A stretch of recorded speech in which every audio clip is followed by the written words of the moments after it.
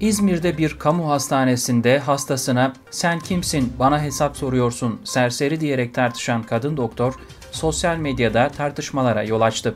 İzmir Tepecik Eğitim ve Araştırma Hastanesi'nde poliklinik binasında kadın doktorla hasta arasında yaşanan tartışma sosyal medyada paylaşılıyor.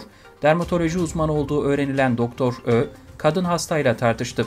Bir sosyal medya hesabından yayınlanan videoda doktorun şu sözleri sarf ettiği görüldü.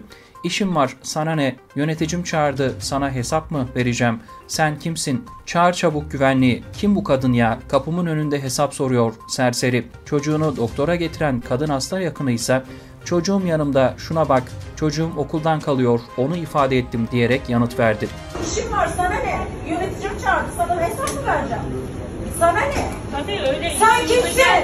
Sen kimsin? Sen kimsin bana soru soruyorsun?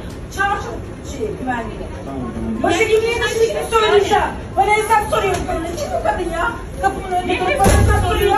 Kimsenin namus boyuna ne? Ay çocuğum. Firmayanın payalarına kimsin sen bana hesap soruyorsun? Aa, şuna bak çocuğun yanında. Sen kimin yanında?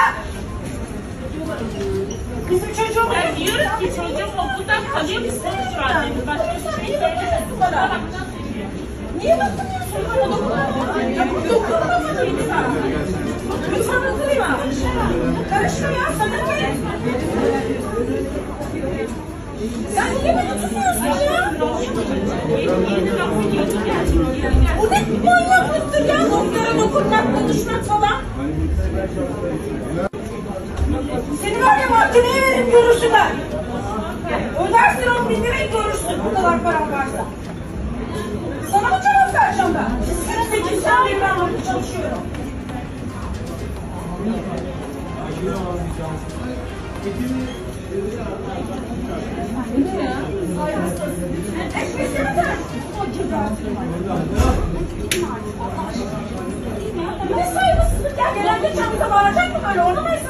Hiçbir siyasi kurum ve kuruluşa bağlı olmadan gerçekleştirdiğimiz bağımsız yayınlarımız için videolarımızı beğenmeyi, kanalımıza abone olmayı unutmayın.